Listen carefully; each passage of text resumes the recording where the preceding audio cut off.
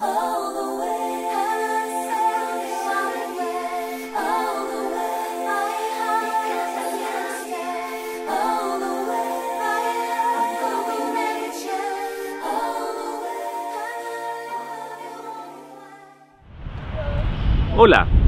¿cómo está?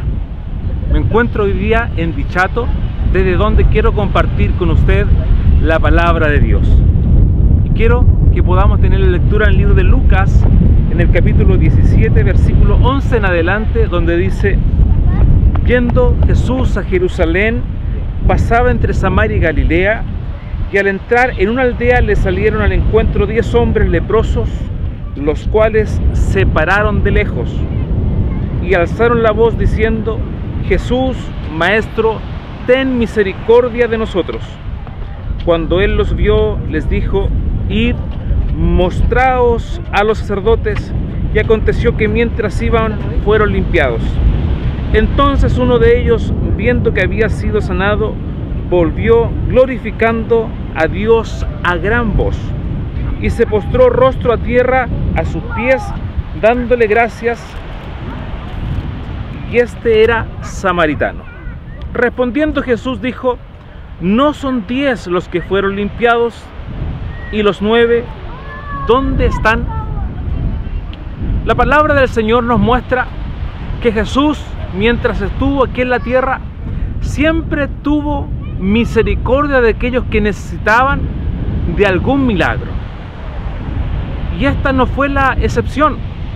Diez hombres que sufrían de lepra reconocieron que Jesús era el que pasaba por el lugar donde ellos estaban y comenzaron a gritar pidiéndole ayuda.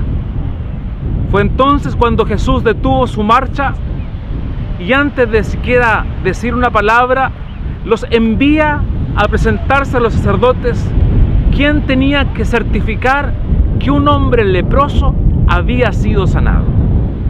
Y la palabra nos relata que estos diez hombres comenzaron a caminar y mientras iban fueron sanados. Antes de llegar a aquel lugar, uno de los diez se devuelve donde Jesús, glorificando a Dios y dando gracias. Y cuando llega donde Jesús, comienza a alabar a Dios. Y Jesús pregunta por los nueve, aquellos que también habían recibido el beneficio, sin embargo no habían vuelto a dar las gracias.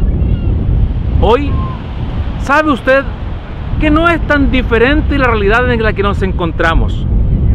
Muchos recibimos el favor de Dios, muchos recibimos del Señor sus beneficios, sus misericordias, pero ¿cuántos realmente vuelven a las plantas del Señor a dar gracias a Él por lo que Él ha concedido? Muy pocos.